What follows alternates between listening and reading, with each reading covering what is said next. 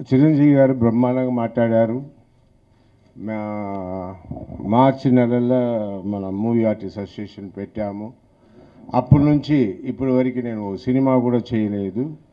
దాంతోపాటు మా ఇంట్లో చాలా చాలా ప్రాబ్లమ్స్. ఎందుకంటే మూవీ ఆర్టిస్ట్ అసోసియేషన్ కోసం ఇంత ఒక మెంటల్గా పనిచేస్తున్నావే అని నన్ను తిట్టి తిట్టి లాస్ట్ చివరికి నా కారు మెమర్సిరీస్ బెన్స్ పోవడానికి కూడా కారణం ఇదే. ఓకే. ఇప్పుడు చిరంజీవి గారు బ్రహ్మాండంగా మాట్లాడారు. కరెక్ట్ లోకంలో ఇలాగే మాట్లాడాలి. అందరూ కలిసి వెళ్ళాలి. అందరూ కలిసి నడవాలి. అందరి ప్రజాస్వామ్యం అన్నది ఉండాలి. అది బ్రహ్మాండంగా మాట్లాడారు. బ్రహ్మాండంగా మమ్మల్ని అంతా కలిసి నడపమంటున్నారు.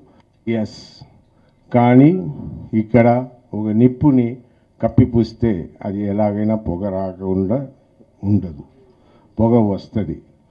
పొగ వస్తుంది అంటే నేను నేను చెప్పి లెట్ మీ మీరు మాట్లాడినప్పుడు ఐ డిన్ ఐ డిన్ మీరు చెప్పారు. అది ముందు ఉండండి ఎలాంటి విషయాలు స- సర్దుకుపోయే విషయాలు చెవులో చెప్ ఇప్పుడు ఫ్యామిలీలో అందరింట్లో గొడవలు ఉన్నాయి.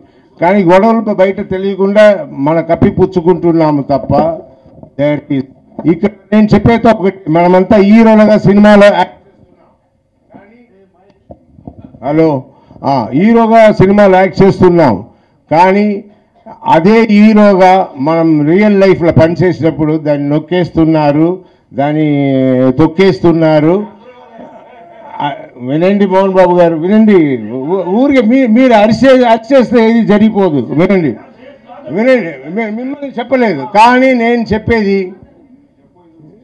నేను చెప్పేది మీరందరూ దయచేసి వినండి.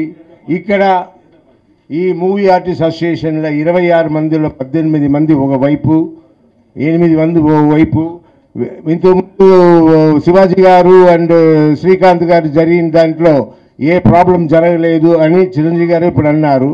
అదే దానే ప్రాబ్లంగా పెట్టుకుని నరేష్ గారు ముందుకు వచ్చి వాళ్ళు తప్పు చేశారని మేమంతా గెలిచాము ఇంక్లూడింగ్ మీ సో ఇలాగా ఉంది మన మూవీ ఆర్టిస్ట్ అసోసియేషన్. ఈ అసోసియేషన్లో ఇంకా ఏమి ఫ్రాంక్గా జరగట్లేదు. సరే నన్ను నేను ఇలాగే బతుకుతాను. దానివల్ల నా నిందలు వస్తారా అని కానీ నేను సత్యంగా బతకాలనుకుంటున్నాను నిజాన్ని చెప్తున్నాను. ఏదైనా ఇంతకు ముందే మాట్లాడి ఇక్కడ తీసుకొచ్చిండాలి. మేము మేము చిన్నపిల్లలు కాదు. అక్కడ వచ్చి ఓ మాట మాట్లాడేసి ఇక్కడ వచ్చి తీసుకొచ్చి అలా కప్పిపుచ్చేయడానికి ఏదైనా సరిగా నడవాలి. అండ్ మీకే తెలియ వస్తుంది మంచి ఉంటే మైక్లో చెప్పండి చెడు ఉంటే చెవులో చెప్పుకుందాం గదిలో. అది గౌరవం ఇవ్వలేని వాళ్ళకి నిజంగా ఇది ఇక్కడ ఎందుకు ఉండాలి? ఎందుకు మనం పెద్దలంటే గౌరవం ఇచ్చుకుంటున్నాము? ఆ గౌరవం ఇవ్వనప్పుడు మేమంతా ఎవరో? మేమంతా ఎందుకు ఉండాలి ఇక్కడ? ఎందుకు రభ రసాభాస చేయటం? ఇది బయట ప్రపంచానికి మన బల బలహీనత చెప్పుకోవటం అనేది ఎంత ఇదిగా ఉంటుంది? అండ్ నేను దీన్ని తీవ్రంగా ఖండిస్తున్నాను. ఆయన ఏది మాట్లాడినా సరే. వెరీ వెరీ సారీ ఎంతో సజావుగా హృదయంగా సాగుతున్నటువంటి ఈ సభలో అగ్రెసివ్గా మైక్ లాక్కుని గౌరవం కూడా లేకుండా ప్రోటోకాల్ లేకుండా అలా లాక్కుని చేయటం అనేది మరి ఏం మర్యాద నాకు తెలియటం లేదు. ఇప్పుడు కూడా నేను స్పందించకపోతే ఇంకా మీరు ఇచ్చే పెద్దరికానికి అర్థం లేదు కాబట్టి ఎంత సౌమ్యంగా మాట్లాడదాం అనుకున్నా సరే నా చేత కూడా అగ్రెసివ్గా మాట్లాడించా చేస్తారు కాబట్టి దయచేసి ఇది ఇంకా ఆపేసి మంచి గురించి చెప్పుకుందాం. చక్కగా మాట్లాడుకుందాం. ఎస్ మాట్లాడండి. ఇప్పుడు చిరంజీవి గారు ఎవరు కోపావేశాలకు వెళ్ళొద్దు. చక్కగా చెప్పండి సలహాలు ఇవ్వండి ఏం చేద్దాం చెప్పండి. మన ఫ్యూచర్ ఎయిమ్ ఏంటో చెప్పండి. ఆ లక్ష్యాన్ని పెట్టండి. ఆ గుడిని పెట్టి దానికి వెళ్ళటం కోసంగా మనల్ని ఏం చేయాలో మీరు మీరు చెప్పిన బ్లూ ప్రింట్ ఇవ్వండి మాకు. బ్లూ ప్రింట్ ఇవ్వండి. సో ఇది కాదు. ఇప్పుడు ఏమవుతుంది? మన మీడియా మిత్రులు దీని గురించి చెరువుల పనులు రాసి అసలైన విషయాన్ని పక్కన పెట్టి ఇది రాస్తారు ఇది అండ్ ఇష్టం లేనప్పుడు రాకూడదు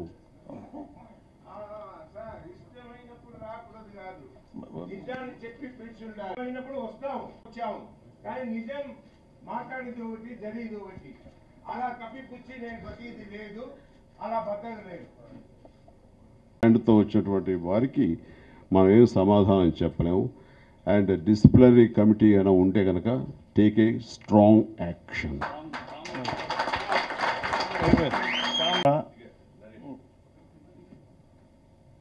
బయట చెప్పకుండా ఉండడానికి దానికి సరైన పనిష్మెంట్ కూడా కావాలి.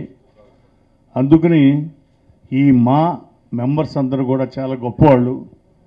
ఇందులో ఇంటర్నేషనల్ లెవెల్కి వెళ్ళిన వాళ్ళు ఉన్నారు ఈరోజు బాలీవుడ్ భయపడే మన హీరోలు ఉన్నారు.